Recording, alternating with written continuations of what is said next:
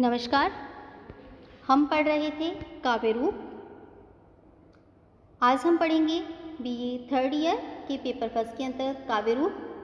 इससे पूर्व की कक्षा में हमने काव्य रूप के बारे में सामान्य अध्ययन किया। हमने पढ़ा काव्य की परिभाषा, विभिन्न संस्कृत आचार्यों के मतानुसार काव्य क्या है, काव्य का वर्गीकरण, स्वरूप के आधार पर, शैली के आधार पर, स्वरूप के अनुसार काव्य के दो भेद हुए, श्रव्य काव्य और दृश्य काव्य। श्रव्य काव्य के दो भाग हुए, प्रबंध और मुक्तक। और दृश्य काव्य के अंतर्गत आया नाटक।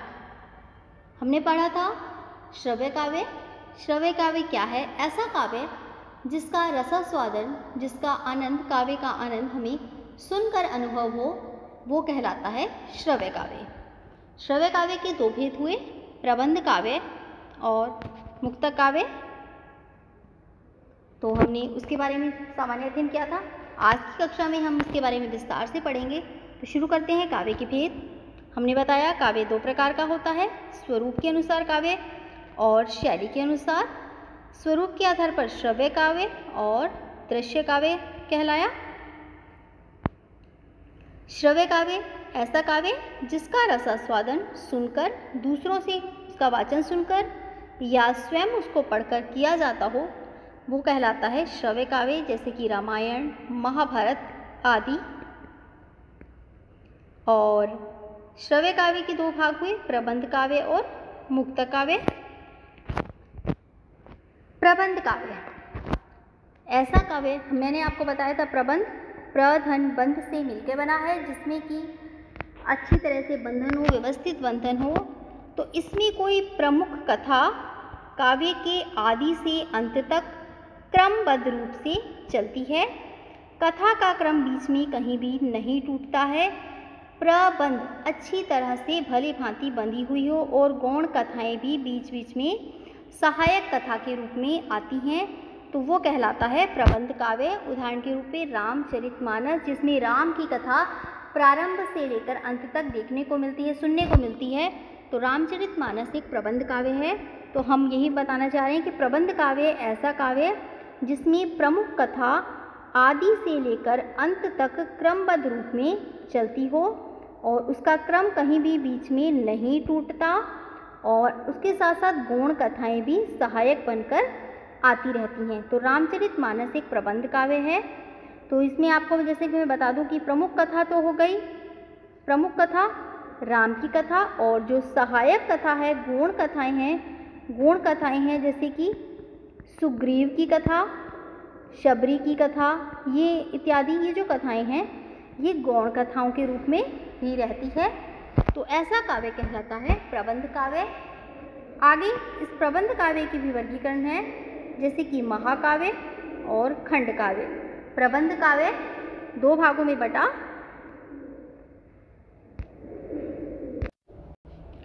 प्रबंध काव्य के दो भाग हुए, महाकाव्य और खंड काव्य क्या है ये महाकाव्य और खंड काव्य तो आइए समझते हैं इसे। महाकाव्य।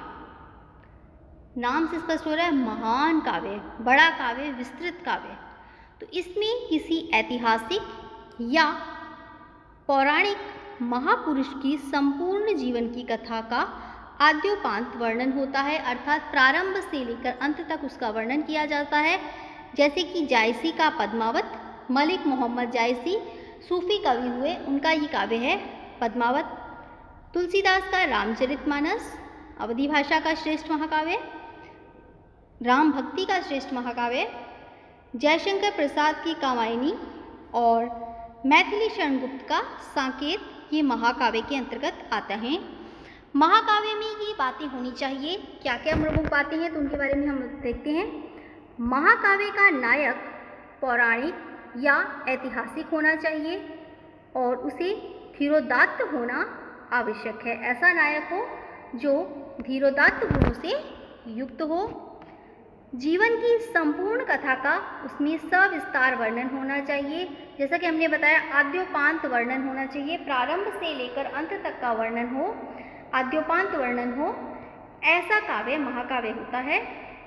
ये प्रमुख बात है महाकाव्य के संबंध में। श्रृंगार वीर और शांत इनों, इनमें से कोई एक रस जो है उस काव्य का प्रधान रस होता है। उस किसी एक की प्रधानता होती है और साथ ही साथ यथास्थान आवश्यकता अनुसार अन्य रसों का भी प्रयोग होता है। सुबह, शाम, दिन, रात, नदी, नाले, वन, पर्वत, समुद्र आदि प्राकृतिक दृश्यों का स्वाभाविक चित्रण होता है। तो इस तरह से हम कह सकते हैं कि विभिन्न जीवन स्थितियों के चित्रण देखने को मिलते हैं महाकाव्य में। महाकाव्य में विभिन्न जीवन स्थितियों के चित्रण होते हैं। सुबह, शाम, दिन, रात, नदी, नाले, वन, पर्वत, समुद्र आदि विभिन्न प्राकृतिक दृश्य विभिन्न स्थितियों का चित्रण हमें महाकाव्य में स्वाभाविक रूप से देखने को मिलता है। आठ या इससे अधिक सर्ग होनी चाहिए। महाकाव्य ऐसा काव्य होता है, जिसमें आठ से अधिक सर्ग होने चाहिए तो वही कहलाता है महाकाव्य। और प्रत्येक सर्ग के अंतर्गत, अंत में छंद का परिवर्तन होना आवश्यक है, और सर्ग के अंत में अगले अंक की सूचना होनी चाहिए। ये है महाकाव्य के संबंध में। आठ या उससे अधिक सर्गों वाला होना चाहिए, सर्ग के अंत में अगला छंद परिवर्तित हो जाना चाहिए, और अगले अंक की सूचना देने वाला हो, ऐसा हो। तो ये थे महाकाव्य के संबंध में सामान्य जानकारियाँ कि उसका नायक ऐतिहासिक हो, पौराणिक हो, उसके जीवन का अद्योपात प्रारंभ से लेकर अंत तक का वर्णन हो और महा, धीरोदात्त गुणों से युक्त हो, जीवन का संपूर्ण चित्रण हो, विभिन्न जीवन स्थितियाँ होती है, शांत, वीर और श्रृंगार इनमें से कोई एक प्रधान रस होता है और साथ ही साथ यथास्थान अन्य रसों का भी प्रयोग किया जाता है। तो ये था महाकाव्य। महाकाव्य के अंतर्गत तुलसीदास का रामचरितमानस, जिसके कांड है बालकांड अयोध्या कांड अरण्य कांड किशेंदा कांड सुंदरकांड लंका कांड और उत्तरकांड, जिसमें कि राम के जीवन की स्थिति है, जीवन का चित्रण है। और उसके बाद हमने देखा जायसी का पद्मावत, ये भी एक महाकाव्य है, सूफी काव्य के अंतर्गत आता है और जयशंकर प्रसाद की कामायनी महाकाव्य है इसके पंद्रह सर्ग हैं। कामायनी शैवागमवादी प्रत्यभि के दर्शन को प्रदर्शित करने वाला एक छायावादी काव्य है इसके पंद्रह सर्ग हैं।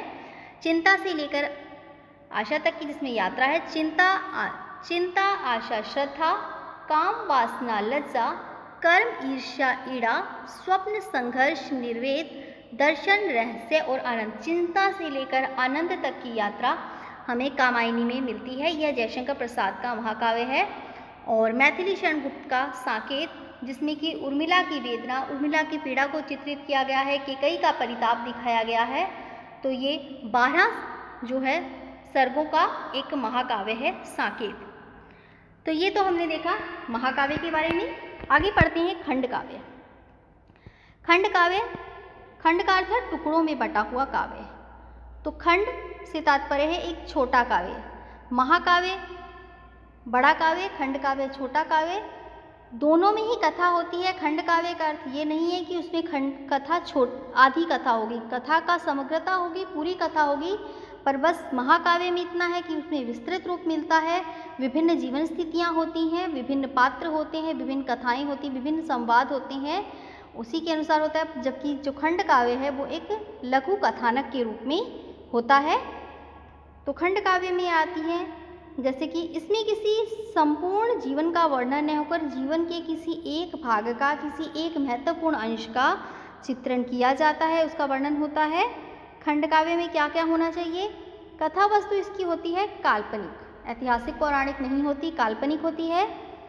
सात या उससे कम सर्ग होते हैं जीवन के जिस भाग का वर्णन होता है, वह अपने लक्ष्य में पूर्ण होता है। ये नहीं कि विभिन्न जीवन स्थितियों का चित्रण किया जाए। जिस भाग को दिखाना है, जिस पक्ष को दिखाना है, उसका पूर्णता के साथ चित्रण किया जाता है। प्राकृतिक दृश्य आदि का चित्रण उस देश काल के, उस वातावरण के, उस परिस्थिति के, उस कथानक के, उस समय के अनुसार किया जाता है और बिल्कुल संक्षिप्त रूप में होता है। खंडकाव्य में? तो ये है खंडकाव्य। महाकाव्य? विस्तृत कथानक, खंड काव्य, लघु कथानक। आगे बढ़ते हैं। ये तो हमने पढ़ा प्रबंध काव्य, जिसके दो भेद हुए। प्रबंध में महाकाव्य और खंड काव्य, और उसके बाद हम पढ़ते हैं मुक्ता काव्य के बारे में। मुक्त काव्य अर्थात जो किसी तरह के बंधन में बंधा हुआ ना हो, मुक्त हो तो वो कहलाता है मुक्त काव्य। मुक्त काव्य इसमें केवल एक ही पद या छंद का स्वतंत्र रूप से किसी भाव, रस अथवा कथा को प्रकट करने में सामर्थ्यता के साथ प्रयोग किया जाता है। अर्थात इसमें निश्छंदों का कोई निश्चित बंधन नहीं होता, स्वतंत्रता लिए होता है और ऐसा काव्य है जो अपने भाव, रस और कथा को प्रकट करने में समर्थ हो। गीत कवित्व दोहा जैसे ये मुक्त काव्य हैं। मीरा के दोहे हो गए, जिसमें कोई कथा नहीं चलती, कोई कथानक नहीं मिलता। वो कहलाता है मुक्त काव्य सरल शब्दों में हम कहें तो। प्रबंध काव्य में जिसमें हमें कथानक मिलती है, कथा का रूप होता है, वो होता है प्रबंध काव्य। और मुक्त काव्य जिसमें कोई कथा नहीं मिलती, जीवन की स्थितियों का जो है समायोजित रूप से चित्रण नहीं होता, ये विभिन्न अलग अलग पक्षों को अलग अलग रूपों को दर्शाता है। जैसे कि मीरा के दोहे, रहीम के दोहे, नीति संबंधी जो हैं, सूरदास के दोहे, सूरदास ने कृष्ण का चित्रण किया है तो वह उसमें कोई कथाक्रम या कथानक का एक क्रमबद्ध रूप नहीं मिलता। कहीं दोहे में कृष्ण का चित्रण है, कहीं दोहे गोपियों से संबंधित हैं, कहीं दोहे राधा से संबंधित हैं, कहीं दोहे उद्धव से संबंधित हैं तो अलग अलग रूपों में जो है दोहे मिलते हैं। उसमें कोई निश्चितता नहीं है, क्रमबद्धता नहीं है, कथानक नहीं है, कथा का रूप नहीं है तो ऐसे दोहे ही कहलाते हैं, ऐसा काव्य ही कहलाता है मुक्तक काव्य। तो सूरदास के जो पद हैं सूरदास के दोहे नहीं हैं, सूरदास के पद हैं और कबीर के दोहे, रहीम के, मीरा के दोहे पद। तो ये मुक्त काव्य के अंतर्गत आते हैं। इसके बाद दूसरा हमने देखा था दृश्य काव्य। काव्य का दूसरा प्रकार था, एक तो श्रव्य था, जिसके अंतर्गत हमने पढ़ा प्रबंध मुक्तक, प्रबंध में महाकाव्य और खंड काव्य और मुक्तक में पद, दोहे, ये सब। और दृश्य काव्य है जिसके अंतर्गत हम कह सकते हैं नाटक। जिस काव्य में भावों का चमत्कार संकेतों, अभिनयों के द्वारा प्रदर्शित हो।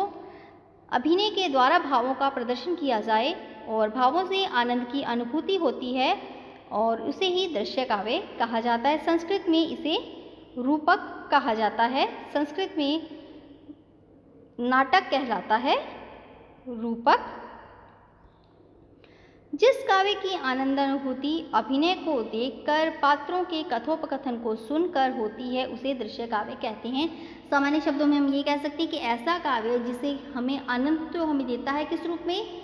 देखने के रूप में। किसी के अभिनय को देखा जाता है, उनके कथनों को सुनकर, उनके संवादों को सुनकर, उनके बातों को सुनकर उसका जो है हमें आनंद अनुभूति होती है, ऐसा काव्य कहलाता है। दृश्य काव्य जो हमारे प्रत्यक्ष बिल्कुल सामने होता है, हमारी आँखों के आगे होता है, वो काव्य कहलाता है। दृश्य काव्य जिसके अंतर्गत आता है नाटक और चलचित्र आदि इसके बाद दूसरा प्रकार था शैली के अनुसार। तो शैली के अनुसार तीन प्रकार माने पद्य गद्य और चंपू। पद्य के अंतर्गत कथा का वर्णन तो होता है, परंतु वो काव्य रूप में बंधी होती है, जैसे कि रामचरित मानस थी। तो रामचरित मानस पद्य काव्य के अंतर्गत आ गया। और गद्य काव्य, जिसमें कथा का वर्णन गद्य रूप में होता है। कविता ऐसी होती है कि जिसमें छंदों का काव्य शास्त्र का कोई बंधन नहीं होता। एक गद्य के रूप में कविता का पाठ होता है, कविता का वाचन होता है और मुक्त रूप में होती है, मुक्त छंद में होती है।